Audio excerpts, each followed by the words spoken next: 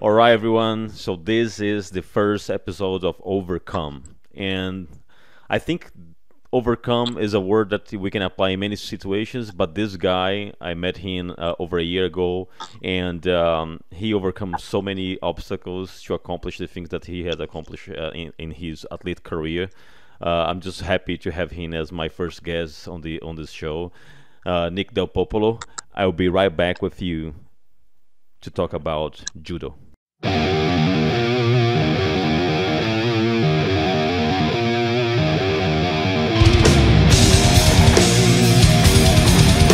All right, okay. Nick. Um, thanks, thanks a lot for for um, taking the time on this uh, Sunday. You just uh, had, had some session of workout. Uh, I see that you're still on your gi, so thanks a yep. lot for taking the time to oh, talk to us. Yeah, it's absolutely fantastic. I mean, you are uh, a great example of overcoming a lot of adversity, your personal life, your experience uh, growing up, uh, coming mm-hmm. from Montenegro to US is is amazing story. If you don't know uh, about Nick's, uh, you can read about. Um, now, on, on this topic, overcome. One of the things that uh, you changed throughout the years was your division in judo, and I know that one of the things that made you change was the struggle uh, to be on the 73 kilos, I think, uh, right. in the past. Right. And I, I bet you that just to make the weight, just to make the weight throughout all these competitions was the first struggle that you have to overcome, right? Uh, Hundred uh, percent. Yes. So I mean, it must be a, a really good relief. But let's go back to to the prep for your first Olympic, and how how was that mental game to get ready in, in shape and focus on on the weight, but also on your technique, on your strength. Tell me a yeah. little bit more about that. Well, that one was a little strange for me because a it was my first one, and b I made the everyone else that made that team. There were f- five members on that year's team from USA from Team USA.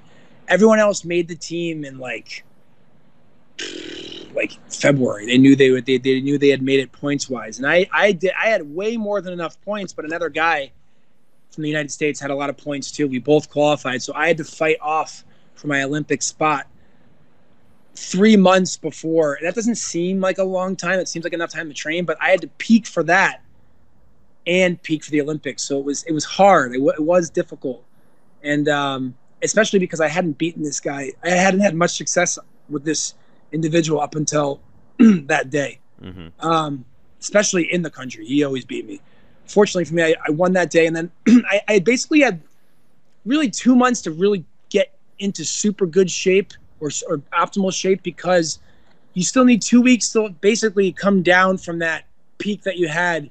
You're still training, but you can't train as hard because you trained so hard for the Olympic trials, right? Mm-hmm. So two weeks there was basically rehabbing my mind, my body, my spirit, because it, it, took a lot out of me to making that team. I kind of part of me still can't believe I made that one. And um, th- then two weeks at the end, you don't really train all that hard because you're peaking for the Olympics. So mm-hmm. there is a month gone like that. So you really have two months.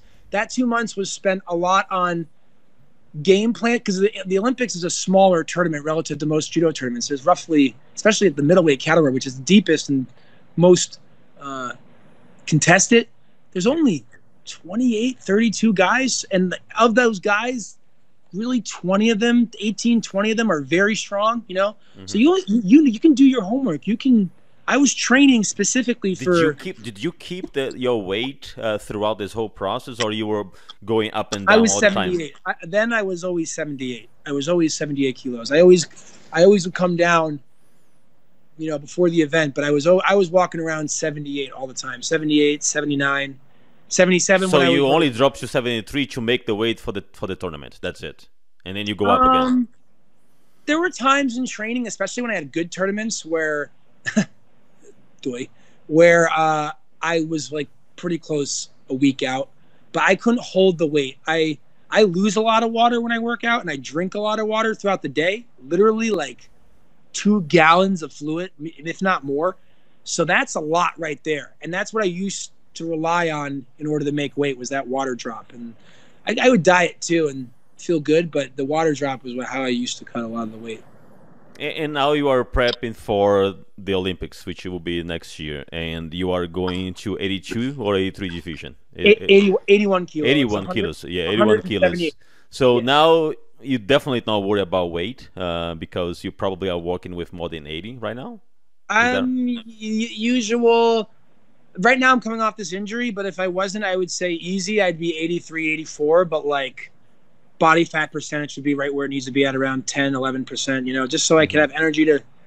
You need to lift, run, and do judo, you know, yep. two or three times a day. So that's that's demanding, especially at oh, pushing. I'm almost 32 now, so I'm not complaining about it, but I need a lot of calories still, you know, a lot of good calories. So usually 84 kilos, I'd say, but low, pretty low body fat percentage, but enough to keep uh, going to all day. When you were on tour last year, and actually you were on tour, I think in January as well, in, in actually yep. in February, because I remember I was competing at the uh, Lone Star, and on the same weekend yep. you were, I think, in Paris. Um, yes.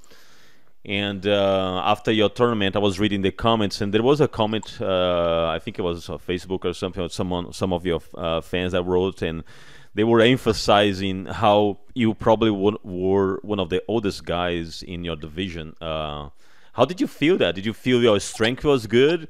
Uh, comparing to what you were on the first Olympics or even on the second one, do you feel, um, do you feel that uh, the experience is paying off? here it's it's weird uh, for me it's um it really comes down to uh you know the the the month before the tournament right? If i have a good month if i'm healthy like i will admit this there are times i go to tournaments when i probably shouldn't go where i'm not like physically ready or like healthy you know? Mm-hmm. or but I, I go just because you need these points and you have to win these matches to go to the olympics so you got to go and you already paid for the tr- okay you got to go right? But when I have my better tournaments and I feel like regardless of what age I'm at, it's because the first, the, the whole month out that camp, so to speak, is strong in diet and training and and when I, I I don't get injured, yeah, I have a few bumps and bruises, but I I know when I'm like pushing too hard. So like, I, but I will admit, when I, when you're younger, you're more up for whatever comes your way, right? right. You don't know what's around you know what's behind. So you are you are actually training way more smart right now than you were in the oh, past. For, for sure, like one hundred percent. And I still train like a bonehead to some degree, but relative to what I was when I was 23, 19, I would train like close to five or six hours a day with with, with no rhyme or reason. There was like I lift this weight before training. I go for a run after training. Mm-hmm. I, it was just like I want to be the best so bad, and that and you know people would slow me down and say, dude, what are you doing? You have like no direction. It's great that you're so enthusiastic, but you have like no direction in your training, right? Yeah. Now it's much harder, but, or excuse me, now it's much smarter, but there are times I can push harder. I just can't push too hard that often. You know, I can push and I hard. And I think that in Paris, you went overtime uh, in one of yeah. the matches, right? How did you feel in yeah. that one? Uh, every overtime match on the World Tour is tough, but uh, that one, not particularly well. uh, I don't know. I just. Th- but, but the question is more like, do you feel that your the gas was there that no. you were prepared? Yeah, yeah, yeah, that's the thing. Like I, if I even when I'm like not in great shape, I have enough game and enough judo to hang with anybody. That's the thing. I have mm-hmm. enough experience, so it's like right. There's something to be said for that. Now, if the guys just blew me out, just blew me out all the time, I would I would say, okay, I, I probably shouldn't do this anymore. But there's like matches and there's tournaments where I have good feelings and good emotions and good moments. You know, like mm-hmm. I, oh, I can still do this. And there's training where I, I know it's training, but you still compete well with the best guys. And I'm still relatively new to this higher category, and I've been injured, and I am really optimistic for the new matchups at the higher category because the guys they seen me, but they haven't felt my game. You know, so it's different. Yep, yep. Well, uh, I, as you know, and I just like to uh, thank you very much for all the support you you, you gave it to me over the, the past weeks uh, since my injury. You know, uh, um, talking to me and, and motivating me to to stay positive on this uh, road to recover. There is any in, in, your career? I know that you have some some uh, uh, injuries here and there, but there was any time in your career that you had an injury that made you to completely stop uh, for a long period of time that you could not train? Yeah, um, I was 15 and I had like ACL, LCL, and meniscus surgery. I had three surgeries in three weeks. I completely blew my knee out wrestling. My foot got caught between the mats, and the guy shot a low single, and my knee just went brink. Um, Oh, wow. but like, and that sucked. And that, you know, there was a lot of like, you know, why me? A lot of pain, physical, mental, a lot of mental pain, a lot of like, Yeah. can I come back from this? A lot of doubts. But then, you know, even then, I I I, I found that like I did a lot of like review, like match study, you know, and I or I did a lot of like, um, not necessarily match study, but I would watch like guys with really good techniques Mhm. just do the technique over. And I mean, almost to vomit. You know, my mom would be like, "Turn something else on." Like I get you enthusiasm, but like, God, you've watched that video literally a hundred times. Then I'm like, I know, I'm I'm mastering it up here. You know, Yeah. so there's always time and like, there's always like, even when you're hurt or when you know you're down, there's still time to make Some sort of progress, right? some sort of progress. Yeah, exactly. Yeah, like and and you're gonna be surprised how much that learning through osmosis is gonna pay off. You know? Yeah. Yeah, because I think that the physical condition will come pretty fast. As, as soon as For your sure. body starts to to rehabilitate and you start training again, everything is going to come back. Yes. As you Especially said, it's more it's more it for a long period of time. right. know? I think as you said, it's more mental uh, uh, psychological uh, impact for someone that's been training for a long time. Uh, now, the other question is when you came back, did you hesitate to do some movements? Because sure. I, I was actually talking to Ken from East Side Dojo the, uh, Dojo the other day. Uh-huh. He had a knee surgery as well back in the day, he told me. Mm-hmm. And he said that when he came back, he changed his instance. He was righty, he changed to lefty because Mm-hmm. Wow. now he was not using that uh, left leg as the main Right. leg to hold his weight because he Right. didn't feel he could use that leg, right? So he changed completely his instance from righty to left. That's Wh- crazy. Which I That's thought, crazy. which I thought was pretty interesting that he did That's that because wild. it Yeah. makes sense, right? Right. Because you don't feel uh, the the same uh, safety to to use that leg again. Right. Well, it's. I mean, they literally literally call it the supporting leg. You know, you, Mhm. all you're you're you're supporting your weight, your opponent's weight, while, um, you know, rotating and twisting and pivoting and hopping. So it's like you're literally doing everything your doctor is telling you not to do on that bad leg. So I can understand like switching sides, but in the same token, it's like as lo- I think if you have really good rehab and you you know real you can my my supporting leg is actually stronger after my knee surgery which is crazy. I can go did, lower. Did you did you come back straight away to that supporting leg?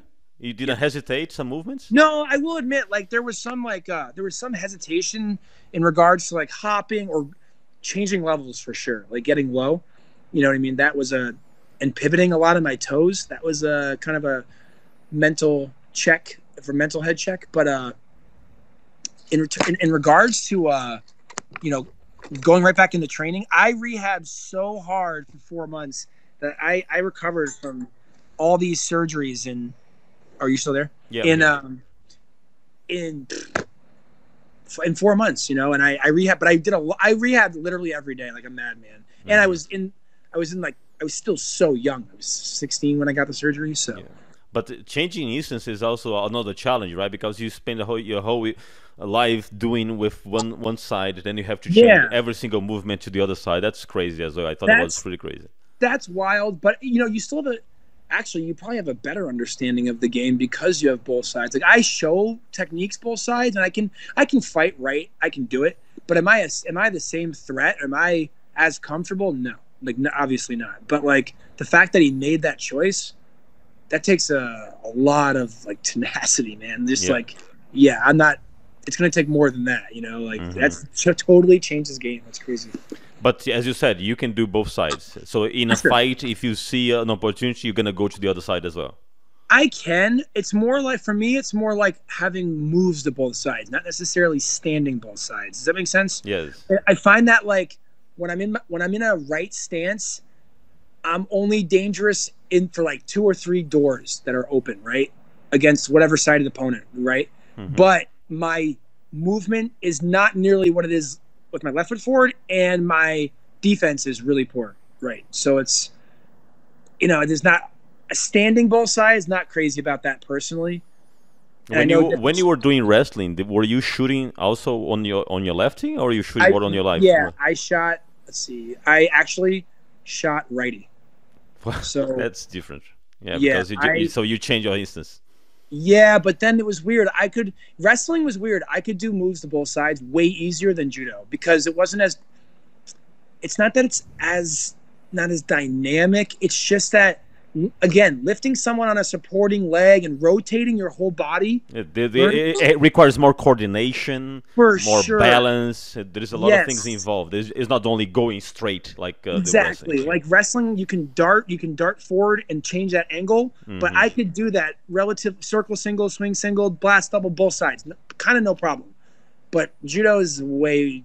Uh, it's, it's, way more complex, and and yes. and, and, and uh, what I I always tell also uh, to to my professors is that I feel like the learning curve to judo sometimes is is even harder than jiu-jitsu because uh, sometimes to master one throw it takes years to master sure. one throw.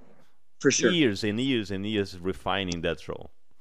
It's it's weird because I I take it for granted because I've done it for almost 27 years now, you know, and but then when I teach people of all different shapes and sizes and levels.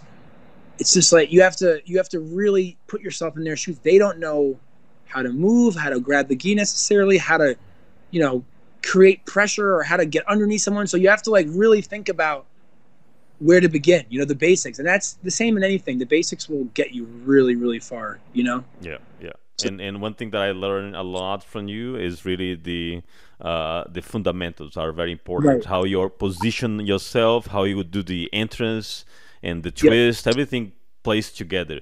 And right. to me, I think uh, I still uh, uh, trying to to work on that, and I noticed that it really takes time because, for example, this injury was exactly trying to do a tai otoshi, right? So I was positioning myself to a tai otoshi. I was with my foot in the front and while I was starting to move my left leg to, to the back to twist, and then my opponent Kuzushi in, in the opposite direction. So my, my left leg had to reposition itself. Yep. But then I was out of balance and my foot twisted, right? Well, yep. You just said it. See, it's like that's where the learning curve can be harder than jujitsu or wrestling. You have to keep balance, and there's all these moving pieces and mechanics, and you have to keep your balance probably while suspending your opponent's balance on yours. You know what yeah. I mean? So it's it's not that it's harder than jiu-jitsu or more difficult than wrestling. It's just different in that regard. Yeah, I agree. No, I agree. Uh, and there's in in people are asking me, are you going to go back right away to compete? I said, well, I, I my plan is to first, as soon as the doctor gives me the green light, to um, start working out. I'm gonna work out, strengthen my muscle, get back in Have shape, to. you know, yeah, uh, and and feel safe uh, to right. go get back to the mats first. Right. Uh, so I, I, think that that's that's the, the, the whole plan. But it, it, it has to. That's that's. I mean, you asked me about myself, and like, yeah, I was younger, and it was only took four months, but I literally it was all about muscle building. Not even muscle building, like you know, stability, balance, all these, getting it stronger than what, what it was, you know, which is like, and it's your foot, so it's crazy. You know, it's, there's only so much you can do with your, yes. your foot, you know? Yeah. yeah, that's right. That's right. Well, what, what about the plans uh, from now on? Where, where, are you going uh, from now on? Do you have a, a, a PAN, uh, a yep. PAN uh, Am com- coming up? And so, uh, congratulations for making the team to go. Thank you. That's pretty awesome. So when is that? That's in October October 20th, 21st, 22nd. So it's almost in a month. So yeah, basically today's my last day of being a bum. Tomorrow I start training like full time again. Like I, I'm, I'm, like talking to Sensei Tommy. Like he's, I can see him text messaging me during this video chat. Like, here's my plan. This is what we're gonna do. So like, yeah, we have a plan, an approach. Because I got my injection. I feel pretty good. I'm ready to go. Uh, yeah, it's, but a lot of it's gonna be the, the big plan is I can't change too much about my game right now, yeah. especially coming off the shelf. The big plan is body being healthy, uh, getting as fit as I possibly can. Good conditioning. Being, yeah. Yes, that's and that and conditioning the whole body, not just your lungs mm-hmm. or your mind, even your toes and your you know your just things to keep you out there for. I have to. Tommy was like, you basically got a plan for five wars and it's in, within the Pan Am Union. They're winnable matches. It's kind of for me. It's kind of a game changer. Do you, know, do you already know how many matches you might have? uh, four or five. Four or five. Okay. Yeah. If I want a medal, if I want a medal, I gotta I gotta win at least four matches. And that leads you to the uh, uh, top three to get a medal. Uh, yeah, and there's two third places, right? Okay.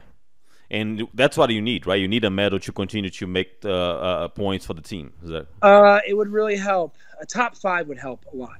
A medal would really help. A medal is like ideal, you know. yeah? That'd And this is gonna be in South America. Uh, Pan Am Union. So Canada, us, Mexico, Central America, all of Central America, Cuba, all of South America, Going to Brazil Uh, also. Brazil, Ecuador, all, all of South America. Okay. awesome. But the the, So- physi- the the the location of the tournament, where is it? Guadalajara, Mexico. Okay. Oh, so it's very close by. Yeah, that's why I'm kind of optimistic, you know? Yeah. Well, man, this is gonna be a great opportunity. Uh, I'm just glad that USA Judo, uh, Judo is uh, is open up for this, and the Me judo too. community is making this happen. It was kind of sad that we had to cancel the uh, presidential uh, uh, the invitational in November. Yeah. That- Dallas, that- that- Dallas yeah. Invitational, but it is what it is. Uh, in, it gives me also hope that next year I can compete there. Uh, I Yep. think I think if I'm looking one year ahead, uh, I can definitely be on that competition. You know. For sure. And like I said, you're you you can look at like you can also you can find anything if you're looking for it hard enough, obviously. But like you can look and you can find so many athletes and so many grapplers that came back better from injuries, you know? So it's like it's devastating, it's demoralizing, and I dude, I, I felt so bad when I saw that. I was like, oh my god! And I, you know what? In my mind too, I kind of, I, I don't mean to be smiling, but I in my mind, I, I, was, I said, I wonder if he was doing Taio or he fell or lost his balance. And unfortunately, it did. But like, but that's, but you know what though? Like, it's not um, your attitude's It's awesome. nobody's fault, you know. That's the thing. Right. As soon as happened, uh, my opponent was all worried. I said, "No, it's not your fault. It was not my fault. It was just a freaking accident." You know. It, it, it, it, it was really just is. it's just a moment it's just i was Right. actually watching the other day how uh, kobe bryant got his achilles completely ruptured and So- i was uh, he, during the interview he said the, the the journalist asked what did you do to do to cause this problem? He said i did the same thing that i do every day. Nothing there was nothing different. It was just a freaking accident. Just exactly. And that's all there is to it. And like once you- i think a big thing in like w- when those things happen to people whether it's an athlete or an individual that's not an athlete it's just you have To, it is what it is. It's happened. It's an accident you know? And it's it's not really about what has happened. It's what's going to happen now you know? Mm-hmm. And that's and it's so like oh, tiresome to hear that. But like it, it, it it's reality it's true. you know? is true. It is true. Yeah. yeah it is uh, completely true. Now, before you go to to to the pan, you still have one month prepping. Uh, Right. I I noticed uh, on on your Instagram and Facebook that you are still offering privates, right? So I'm gonna put Correct. here uh, all the information uh, on the screen so people can contact you for that. You Okay. still still open for that, right? for sure I, I i just got done teaching one so Okay. Yeah.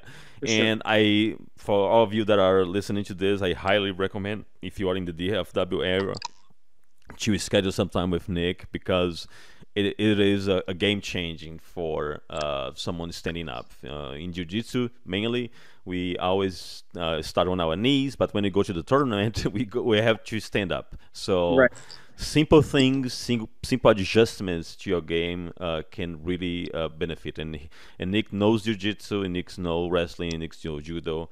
So he, he knows also how to counter a lot of the attacks that the people will do against you. I, I personally felt but that my jiu-jitsu game changed completely after I started judo because judo gave Good. me gave me more balance. Even on the ground, you, you feel more stable. Even on the ground. Right, right. That's why it's it, it's literally it's it's funny when you hear BJJ practitioners and judoka practitioner or judo practitioners arguing, and it's like, guys, we're literally on the same team. Yeah, it's Like, complementary. It's, totally It- complementary.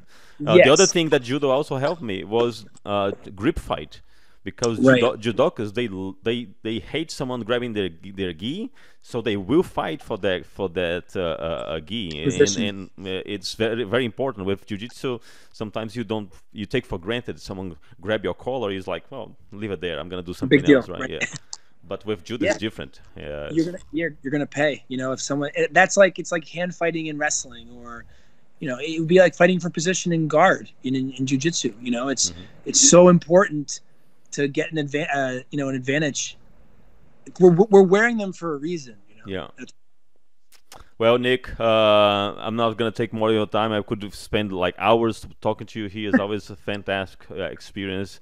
So thank you very much. Uh, have a, a great Sunday. Go go eat. Go uh, put your meal and make sure that you stay hydrated. And let's uh, uh, hope for a medal uh, next month uh, on the pan. It would be great if you can bring a medal and and help your qualification. And also, uh, just another uh, important information on this poster that I'm gonna put here on the screen. Nick also has uh, information for donations. So if you are interested in, in sponsoring or helping out Nick, just make sure to to contact him directly uh, through this uh, banner that uh, you have on the screen right now. Nick, Right. thank you very much, my friend. Thank you very much, Yuri. Thanks for having me. Thanks, guys. Thanks for watching. All See you right, later. my friend. Take good care. weekend. Bye bye. Bye.